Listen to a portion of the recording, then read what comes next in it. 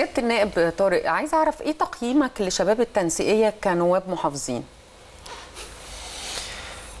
يعني أنا طبعا من في رأيي إنه من الباكر إنه إن إحنا دلوقتي نقيم لأن هم لسه يعني متولين بقى لهم فترة قصيرة جدا.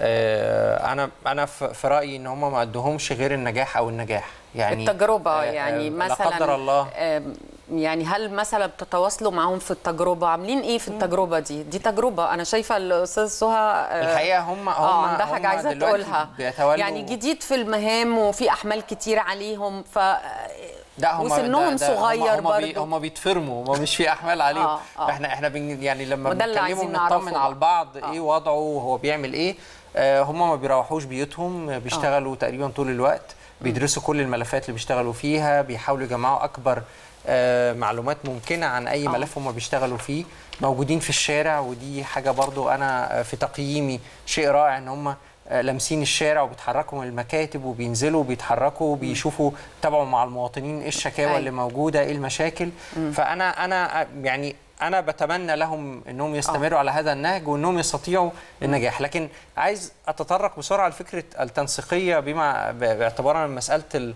الأدبيات.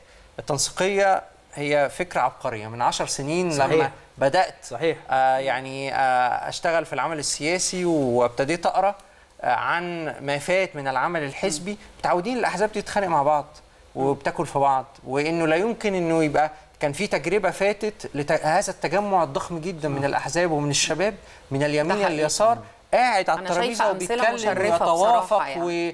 آه وممكن نختلف لكن بعد في نهاية اجتماعنا إحنا بنوصل لتوافق ما وبنضع أدبيات النهارده لينا في العلاقة بيننا وبين بعض.